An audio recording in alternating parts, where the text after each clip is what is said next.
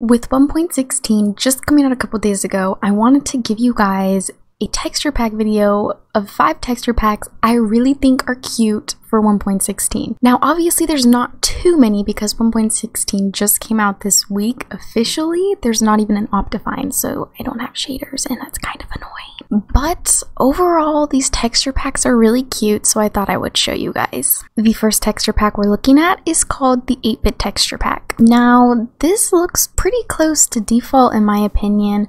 The only difference is it makes it 8 bit, so a lot more simple. I just think it's really cute. Look at the little chicken. This definitely will make your game run a lot smoother because the game is putting a lot less effort into making the textures high quality HD, all of that is very 8 bit. Look at the pigs, they look so cute. Here's a little preview of what the cave life would look like for you. It's pretty simple, but I think it's really cute.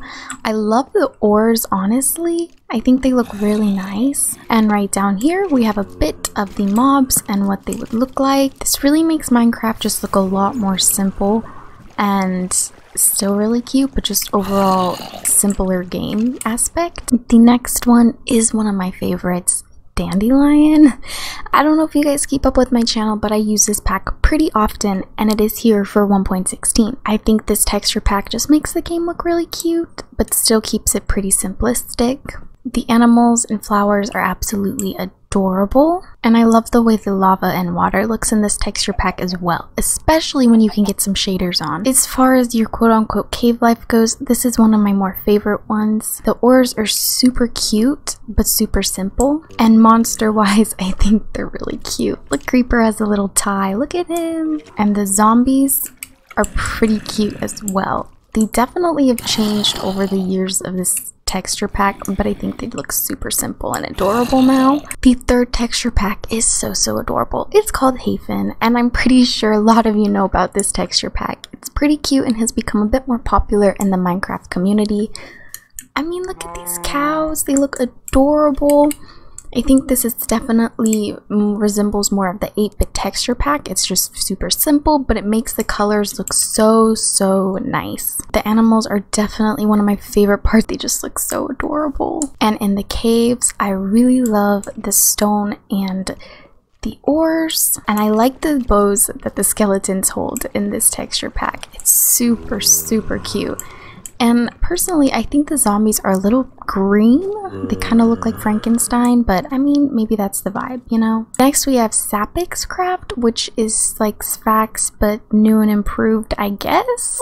Honestly, I think these texture packs are always adorable with their like angles, sharp edges, so so cute I, think i have the 64 bit but i know you can go up to like 560 which is crazy and really cool you can get some major details with all of these packs definitely brings back a lot of memories with this pack i used to use it a lot and the ores are definitely super fun as well as the lantern textures they look super cool now, the skeletons aren't really textured that much, but these zombies are some of my favorite. I really love the zombies. I know in the older versions they had multiple zombie textures.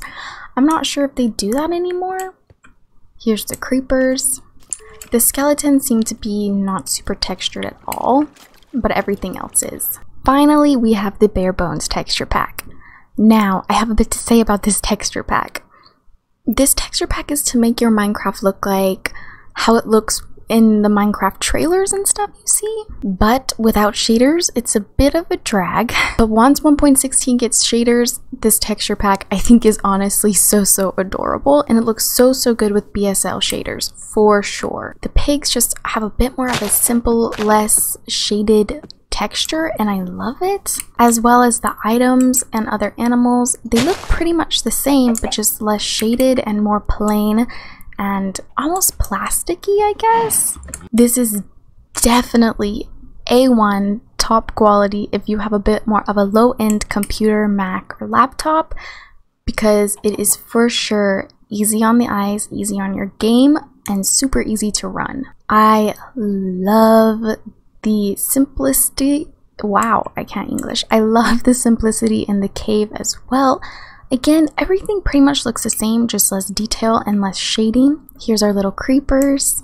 We got a little Enderman this time. I really like these texture packs overall. I can't wait for shaders to come out for 1.16 as well as I can't wait to see what creators do with all of the new blocks and items in 1.16. I think it's going to be really cool to see the texture packs that come out. And all of these texture packs include the nether, of course. I just didn't feel like going there, even though that's what 1.16 is all about. Of course, these are going to be all linked in the description for you guys to download and play for yourself. Let me know what you think about them in the comments down below.